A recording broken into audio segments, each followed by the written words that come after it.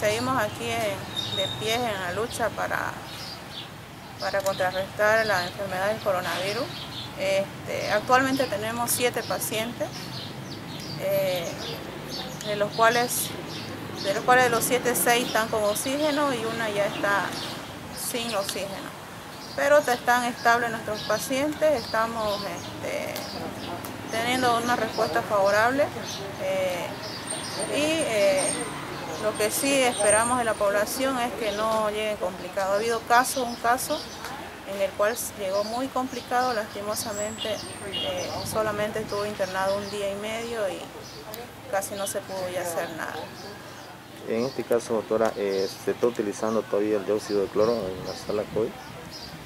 Sí, actualmente lo utilizamos en los pacientes más graves. Los pacientes ya estables no lo hemos retirado ya no es necesario, pero sí seguimos utilizando. ¿Algún mensaje para la población, doctora? Que por favor acudan al hospital, eh, especialmente los, los, pacientes con enfermedades de base, como siempre lo digo. un paciente también con obesidad es una enfermedad de base que se nos complica en este caso con el coronavirus, eh, ya sea joven, adulto, eh, especialmente los adultos se llegan a complicar más y su estadía eh, llega a ser mucho más tiempo.